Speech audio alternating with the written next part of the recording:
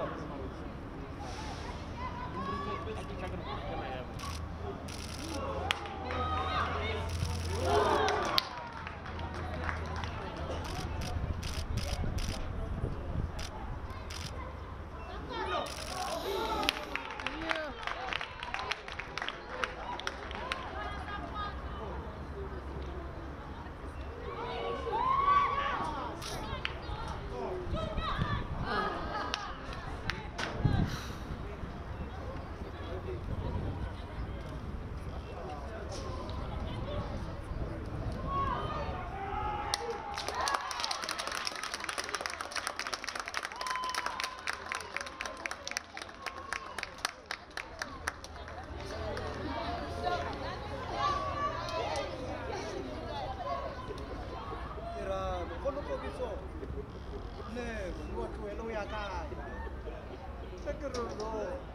Yeah, obviously it was our first uh, games for, for the year.